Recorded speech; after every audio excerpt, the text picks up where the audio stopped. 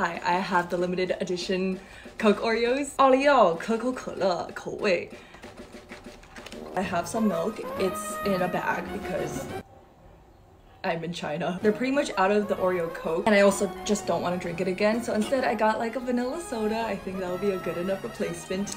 Let's try. Ooh, the limited edition flavors have never really gone wrong for me. So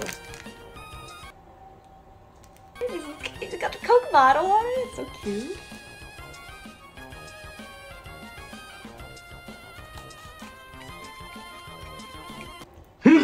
Oh my god, it's like it's like pop rock. It's literally sparkling in my mouth.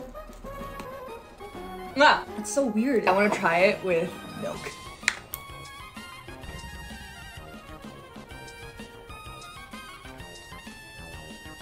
I'm just not sure. Coming from America, you kind of just eat anything that has sugar in it.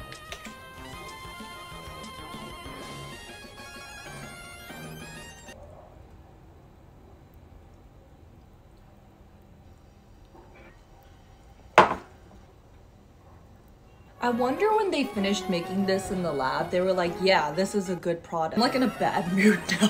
it wasn't disgusting. I feel like the Oreo Coke was disgusting. This one is like, just puts me in a bad mood.